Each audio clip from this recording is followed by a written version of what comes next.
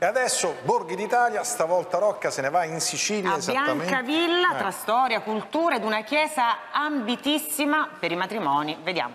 Ah però.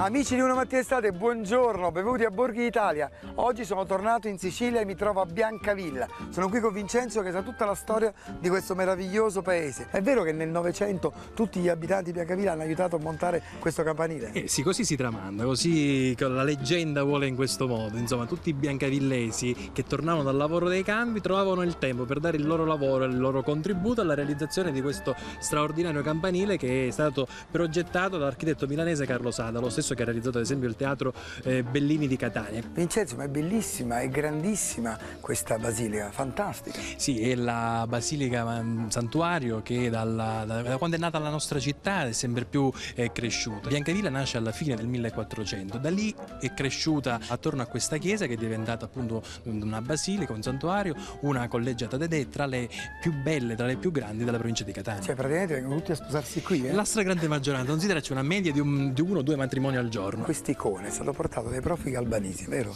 Sì, eh, attorno a quest'icona ruota la storia della nostra città. Nel 1400 un gruppo di profughi albanesi che scappavano dalla dominazione turca in Albania vengono nelle nostre zone, nella zona dell'Etna, e portano con loro ciò che di prezioso avevano, l'icona bizantina degli inizi del 1400 della Madonna dell'Elemosia, un titolo particolare, della misericordia. La bellezza di questa icona, un'icona appunto assolutamente dei primi del 1400, ha colpito Papa Francesco. Tra le tante immagini della Madonna ha scelto proprio quella di Biancavilla per essere presente all'interno della canonizzazione di Madre Teresa di Calcutta in piazza San Pietro. Quindi è stata esposta lì e insomma è stata apprezzata dal Papa.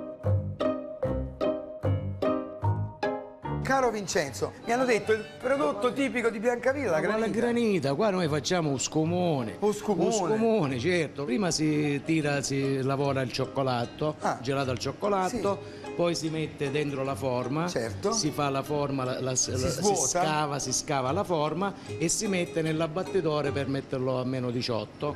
Subito dopo, nel frattempo, ti prepari il cosiddetto zabaglione, Zabaglione poi scumone. glielo metti morbito come vedi ora e poi diventa così perché viene rimesso nell'abbattitore. Sono molto fortunato perché questo gelato, questo schiumone è una Scumone, scumone, scumone. è magnifico. Allora io voglio invitare tutti gli amici di una mattina estate a venire a Biancavilla. C'è storia, si sta bene e si mangia divinamente. Arrivederci a tutti.